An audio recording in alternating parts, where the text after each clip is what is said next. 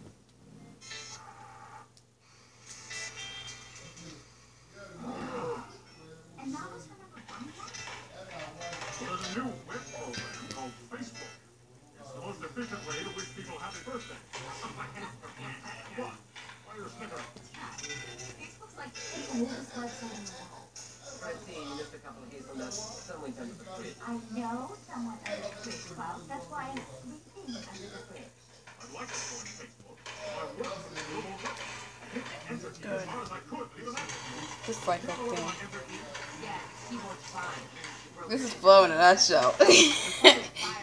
She's like, no thanks. I just wanted the destroy to stop. And she's like, I'll destroy it first. That's how Flo does her boring Dex work.